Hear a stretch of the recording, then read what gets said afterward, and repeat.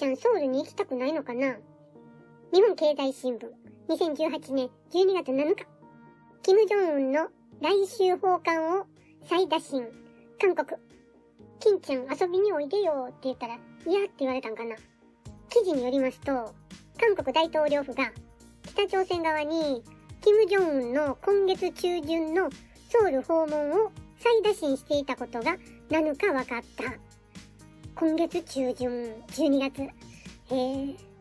韓国大手紙の朝鮮日報は、12日から14日の日程で招待していると報じた。北朝鮮側は一旦延期を要請したが、ムン・ジェイン大統領がトランプアメリカ大統領の理解を得た上で、再び働きかけたという。大統領府関係者は7日、キム・ジョンウンの訪韓について、北朝鮮が決定すれば発表すると述べた。統一省のチョっていう人が国会答弁で年内の訪問へ北朝鮮側と協議中だ。具体的な回答は来ていない状態だ。と明らかにした。来てくれるかなしかし、スケジュールそんな状態で暇なん？って感じやねんけど。ムンジェインは6日、大統領秘書室長のイム・ジョンソクら側近を集め、キム・ジョンウン訪韓の準備体制を協議する緊急会議を招集。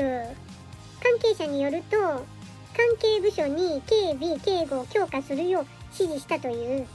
伝えられる期間中には、訪韓団のためにソウルの一流ホテルの部屋も抑えている。韓国政府内では、キム・ジョンウンが来た際に、ムン・ジェインが半導体工場などを案内する案が浮上している。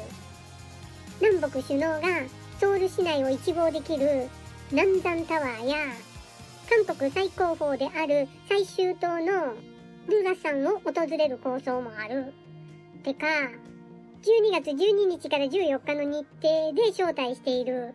で、今まで返事がないんでしょ？行く気ないん違うかな？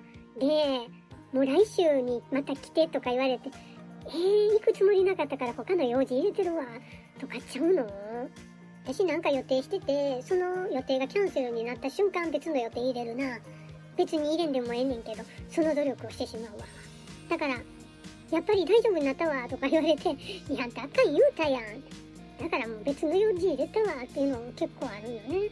で、アメリカは9月の南北首脳会談の際、北朝鮮と軍事緊張の緩和策などで合意した韓国に強い不信感を示した。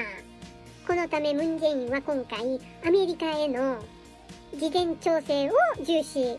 11月30日の米韓首脳会談では、キム・ジョンウンの訪韓について、トランプアメリカ大統領から、米朝の非核化対話に肯定的な役割を果たす、との言質を得たとされる。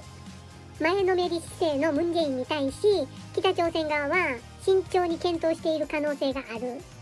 キム・ジョンウンの訪韓が停滞している米朝協議を後押しする結果をもたらす保証はないからだ。アメリカは非核化まで経済制裁を維持する姿勢を示しており、南北の経済協力で目に見える成果も上げにくいと。ムンジェインって自分勝手で強引な人なんやろね。相手の都合も考えず。金ちゃん行きたない言うてんのに。行きたかったら即答してるん違うのって思うんですけどね。いやー、年内無理やと思う。来るんかな